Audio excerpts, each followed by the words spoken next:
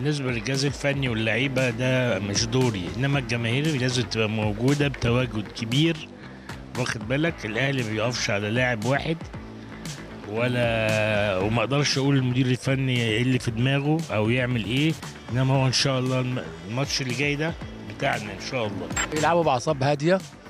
وتركيز شوية وإن شاء الله بإذن الله النصر للأهلي بإذن الله بإذن الله. لأن الأهلي قابل ماتشات قبل كده صعبة كتير واجتازها وبنجاح والأهلي واخد على اللعب بالطريقة دي واخد على الصعوبة وإن شاء الله هيكسب النادي الأهلي بإذن الله. إن شاء الله هتكسبوا و يعني طبعا التدريب عندنا تدريب عالي جدا مدربين ممتازين كلهم ويبذلوا أقصى جهد طبعا عشان يفوزوا بإذن الله.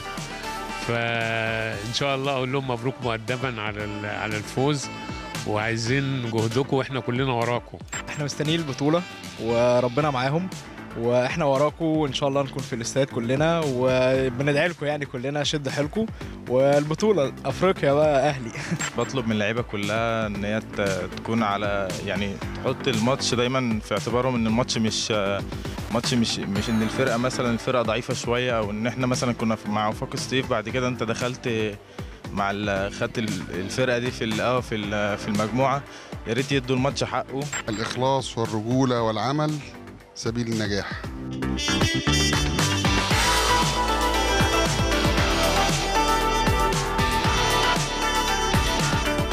ماتش صعب جدا مش سهل زي ما الناس متخيلة. لأن الأرض هناك سيئة وبالتالي الأرض هنا كويسة فاللعيبة حرية كوناكري هيلعبوا كويس وهيلعبوا كويس جدا. فالمفروض إن اللعيبة بتاع بتاع الأهلي يعني أنا بقول عليهم بس باللفظ كده يقبلوه مني يكونوا رجالة ويبذلوا كل مجهود ويؤدوا ما عليهم وإن شاء الله آه، بإذن الله يفوزوا. أول حاجة لازم يعرفوا إن إحنا من 2013 لسه ما خدناش البطولة ودي أكبر رسالة إن هم لازم يحطوها قدامهم. ويلعبوا بجهد وبروح النادي الأهلي اللي إحنا عارفينها وبروح الفانيلا و- وكلنا وراهم يعني ولازم هم يجتهدوا على قد ما يقدروا وينفذوا تعليمات المدرب ويقروا اللي جوه قلب الجماهير الأهلي وإن شاء الله ربنا هيوفقهم. النادي الأهلي دايما متعود على المنافسة ب- بينافس على البطولة.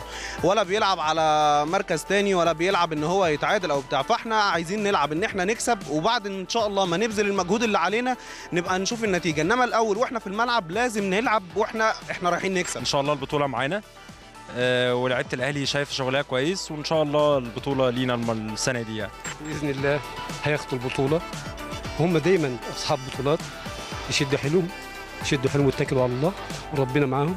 معاهم مجلس إدارة فوق الرائع ربنا يبارك فيهم ويشفي الكابتن الخطيب ويخليه للنادي الأهلي.